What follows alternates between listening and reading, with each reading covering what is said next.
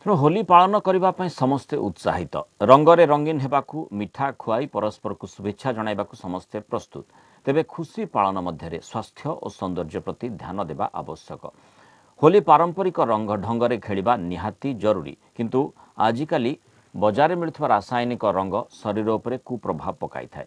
ତେଣୁ ହୋଲି ଖେଳିବା ସମୟରେ କେତେକ ସାମାନ୍ୟତମ ସତର୍କତା ଅବଲମ୍ବନ କରିବାକୁ ପଡ଼ିବ। ପ୍ରଥମେ ପ୍ରାକୃତିକ ରଙ୍ଗ ବା ହର୍ବାଲ ହୋଲିରେ ରଙ୍ଗ ଖେଳିବା ଜରୁରୀ। ଏହାର କୁପ୍ରଭାବ ଶରୀର ଉପରେ ପଡ଼ିନଥାଏ। ହୋଲି ଖେଳିବା ପୂର୍ବରୁ ଶରୀରରେ ନଡ଼ିଆ କିମ୍ବା ସୋରିଷ ତେଲ ଲଗାଇବା ଆବଶ୍ୟକ। ଶୁଷ୍କ ଶରୀର ରାସାୟନିକ ରଙ୍ଗ ଉପରେ ଖରାପ ପ୍ରଭାବ ପକାଉଥିବାରୁ ତୈଳାକ୍ତ ତ୍ୱଚା ଉପରେ ପ୍ରଭାବ ପକାଇବାରେ ବିଳମ୍ବ ଘଟିଥାଏ। ଭଲ ବ୍ରାଣ୍ଡର ସନସ୍କ୍ରିନ୍ ଲୋସନ୍ ବି ଲଗାଇ ପାରିବେ।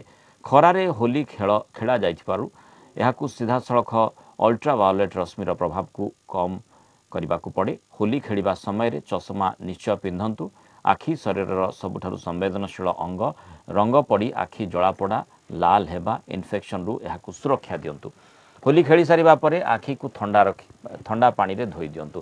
ଆଖିରେ କୌଣସି ଅସୁବିଧା ହେଲେ ତୁରନ୍ତ ଚକ୍ଷୁ ବିଶେଷଜ୍ଞଙ୍କ ସହ ପରାମର୍ଶ କରନ୍ତୁ।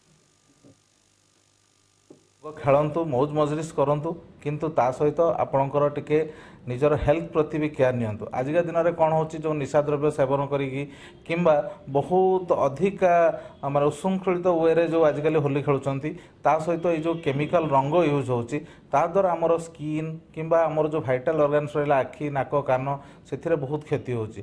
ତେଣୁ ସେସବୁକୁ ଧ୍ୟାନରେ ରଖିକି ହିଁ ହୋଲି ଖେଳନ୍ତୁ।